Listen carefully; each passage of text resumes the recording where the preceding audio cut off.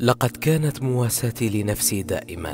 أن الله ما أحدث لي امرا إلا لخير وما أشقاني إلا ليرضيني وما أبكاني إلا لأتلذذ بطعم الفرح وما حرمني إلا ليعوضني وما أخذ مني إلا ليعطيني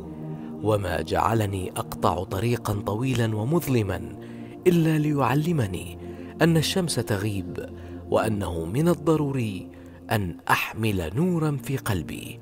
فكلما ضاقت تذكر كيف أبحر نوح بالسفينة في موج كالجبال وكيف سلم إبراهيم من النار وكيف نجا يونس في بطن الحوت وكيف شق موسى البحر بعصاه. أجمل ما في فرج الله أن يأتي بعد أن تنقطع كل الأسباب ولا يبقى في قلب العبد إلا الله.